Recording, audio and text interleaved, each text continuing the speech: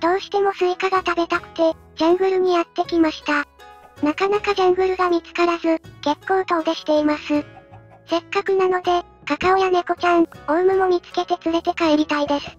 カカオはよく見かけますが、今のところスイカを見つけられていません。ジャングルの木も、忘れずに持って帰ります。スイカを探してさまよっていたら、羽ばたく音が聞こえてきました。オウムだ実は、オウムを見るのは初めてです。ゾンビの声が気になりますが、仲良くなりたいです。お、すぐに懐いてくれました。やったー。ちゃんとお座りもしてくれるんですね。かわいいなオウムちゃんと出会った場所の近くに、スイカもありました。これで一番の目的は達成です。猫ちゃんを探していたら、ジャングルの寺院がありましたが、宝箱はどちらも微妙でした。苔石をたっぷりもらって帰ります。帰り道、猫ちゃんは見つかりませんでしたが、2羽目のオウムに出会いました。この子がものすごい食いしん坊でした。やっとお腹いっぱいになって懐いてくれました。では、頑張って拠点まで戻りましょう。船を占拠されたりしましたが、無事に二羽とも連れて帰ってこれました。猫ちゃんもまた探しに行く予定です。あと、この二羽の名前は、コウメとわさびです。拠点がまた少し賑やかになりました。持って帰ってきたスイカは、金つばが収穫を頑張ってくれています。そんな金つばには、もう少し頑丈になってもらいましょう。装備欄のインゴットのマークに、鉄ブロックを装着させると、見た目が鉄ブロックになりました。反転みたいで可愛いですね。これでより安全にお外の業務を頑張ってもらえます。今日は、金つばがせっせと刈り取ってくれた小麦を使ったお料理をしましょう。その前に、冷やしたスイカでおやつタイムです。スイカは、そのまま食べてももちろん美味しいですが、甘みが足りない時は、塩をパパッとかけて、塩スイカにしてもいいですね。脱水予防にも効果的らしいです。美味しい。ところで、さっきから子犬みたいな声で騒がしいですが、犯人はコウメとわさびです。近くにいる生き物の声を真似するんですね。ちょっとびっくりしました。水分補給もしたので、今日は肉体労働が必要なお料理をします。まずは、必要な道具作りや時間がかかる下ごしらえをしていきましょう。最初は、下げ金と鉄と竹のかけらをハンマーでトントンして、刀削麺切りを作ります。お蕎麦屋さんやうどん屋さんで見かける麺切り包丁ですね。次は、釣りで捕まえておいたカツオを魚包丁でさばいて切り身にしたら、お鍋にお水をたっぷり入れて、焚き火に火をつけて、80度くらいまで温度が上がったら、しっかり茹でます。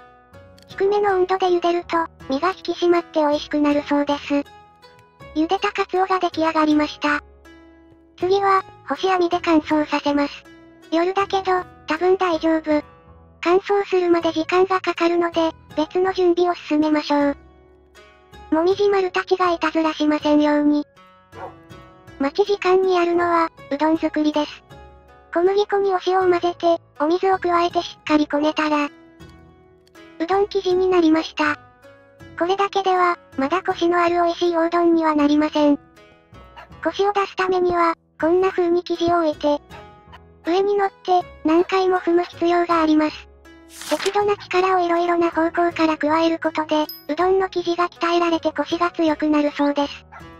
踏む回数は、数回で済むこともあれば数十回踏み続けないといけないこともあるようです。まだ出来上がってないのに、無理やり取ろうとすると、アイテムに戻って、今までの努力がリセットされます。なので、ひたすら踏んで踏んで、表面が滑らかになったら、完成です。ちょっとわかりにくいですが、右はざらついている感じで、左はつるんとしています。結構長い間踏み続けました。では、この努力の結晶を丁寧に切っていきます。面切り包丁は、連続して使い続けます。何度も切っていると、少しずつ細く分けられていきます。最後まで切ると、相手昔今なんか、シューって言ったような。いないよねもしかして、コウメかわさびのモノマネなの？心臓に悪いです。あ、それと、切ったうどん生地からは生うどんを手に入れています。びっくりしてお見せするのを忘れてしまいました。うどん作りをしている間に、カツオの切り身がカラカラに乾燥しました。カツオの燻製です。このまま食べても美味しそう。でも、食べるのは我慢して今度はかまどで焼きます。これで乾燥カツオになりました。ここまでの工程は、本物だと1ヶ月くらいかかるそうです。最後は、乾燥したカツオを石臼で細かく粉砕したら、美味しそうな香りのカツオ節の完成です。このまま白いご飯に乗せて、お醤油をひとたらしするだけでも間違いなく美味しいです。でも、今回は贅沢に鰹節を使っちゃいましょう。お水が入ったお鍋に、鰹節とお醤油、海苔、塩を入れて一煮立ちさせたら、鰹の風味が豊かな、蕎麦つゆができました。お鍋にお湯を沸かし直して、蕎麦つゆと卵、そして自家製の生うどんを入れたら、月見うどんの完成です。卵は卵黄だけもいいし、温泉卵もいいですね。お好みで、天かすとおネギをたっぷりかけましょう。おうどんだけではちょっと寂しいので、もう少し作ります。あんこと竹串代わりの竹と、ご飯をお鍋に入れて、あんこ団子。たっぷりの甘いあんこが魅力ですね。あんこをメープルシロップ2つに変えたら、甘じょっぱいみたらし団子ができました。大好物です。最後は、桜の葉っぱとシダを入れて、見た目も可愛い三色団子ができました。あとは熱々の緑茶を入れたら、今日のご飯の完成です。お団子があるので、お花見スタイルにしてみました。着物も桜の着物で合わせてみました。淡い桜色と、少し濃いピンクの帯がとても可愛いです。今日の献立は、月見うどんとおにぎりがメインです。そして、とっても大きいお団子3種類。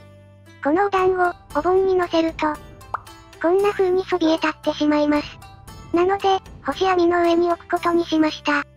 干し網は、食べ物以外も飾れるみたいなのでインテリアにも使えそうです。では、そろそろいただきます。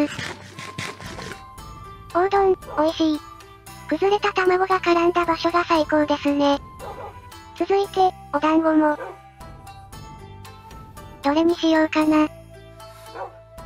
やっぱり、最初は大好きなみたらし団子かな。うーん、最高。